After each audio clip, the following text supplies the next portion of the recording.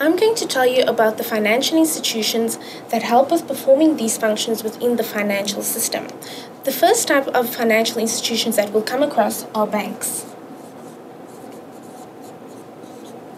Banks assist in channeling funds from surplus units to deficit units within the financial system. But these banks are regulated. They are regulated by a bank called the South African Reserve Bank. In addition to channeling funds, banks have another function of money creation.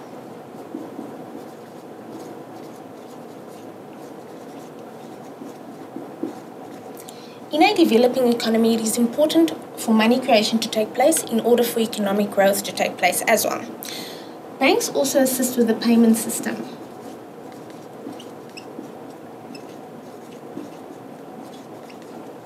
The payment system is very important as all money which flows in the financial system flows through the payment system. There are more financial institutions which assist surplus and deficit units, such as long term and short term insurers, investment institutions,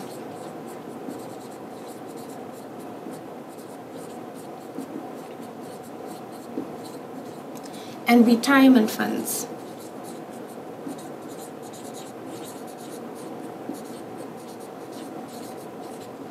These three types of financial institutions assist surplus units in challenging in channeling funds to the deficit units.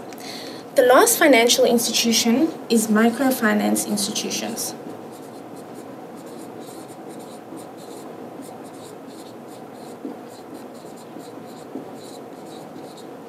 Microfinance institutions assist people who do not have access to formal financial institutions to obtain funds. In the next clip, we'll explain to you um, how financial instruments are created within the different markets.